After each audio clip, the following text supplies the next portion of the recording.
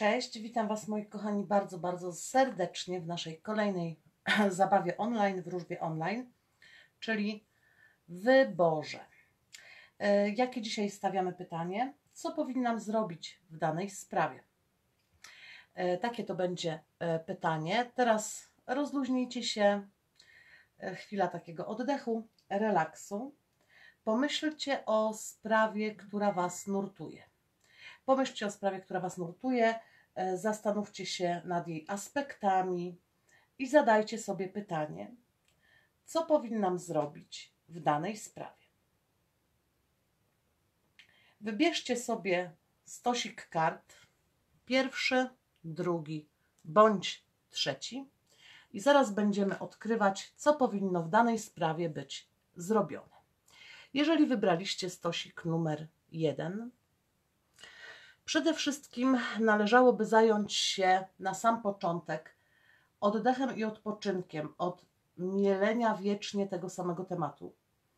E, To pozwoli nabrać dystansu. Niech to będzie krótki wyjazd, niech to będzie wyjście ze znajomymi, niech to będzie oderwanie się od tej rzeczywistości, która Was nurtuje. A po takim krótkim odpoczynku i intelektualnie, i mm, życiowo, bytowo w działaniu będziecie po prostu jak przecinak. Czyli tutaj przede wszystkim należy na moment zostawić tę sprawę, a potem podejść do niej z nową energią. Jeżeli wybraliście stosik numer dwa, tutaj co powinnam zrobić w danej sprawie? Zostawić to wszystko, co jest nie do zrobienia. Na siłę pewnych rzeczy nie zrobicie. Jeżeli puścicie te sznureczki, które są dla Was obciążeniem, uwiązaniem, nie będziecie dawać z siebie wszystkiego za wszelką cenę, bo cena jest za wysoka do efektów, których to nie ma, to okaże się, że ta sprawa po pozbyciu się tych obciążeń typu wypada, nie wypada, ktoś coś powiedział, zrobił bądź nie zrobił, wzięta w swoje ręce, po prostu bardzo mocno wzrośnie.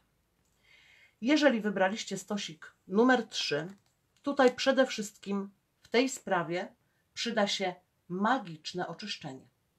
Sprawa została energetycznie zadiablona, czy przez kogoś, czy przez nasze samodzielne myślokształty, gdzie mielimy pewien temat i nie do końca potrafimy sobie z tym poradzić i już się tam nawarstwia zła energia. Przede wszystkim ta sprawa wymaga radykalnego, energetycznego oczyszczenia. Czyli stosik numer pierwszy odpoczywamy od sprawy, stosik numer drugi pozbywamy się balastu, matryc, myślokształtów, ludzi, wydarzeń. Stosik numer trzy bierzemy magiczne rzeczy w magiczne ręce i po prostu uzdrawiamy. Pozdrawiam tych wszystkich, którzy wysłuchali tej audycji na żywo, którzy są właśnie tutaj na czacie. Audycja będzie dostępna na stronie, na fanpage'u, również na YouTubie. Zawsze e, możecie polecić swoim bliskim, jeżeli mają jakiś dylemat, by zajrzeli i dostali odpowiedź, co zrobić w danej sprawie. Dziękuję Wam bardzo za wysłuchanie i do zobaczenia.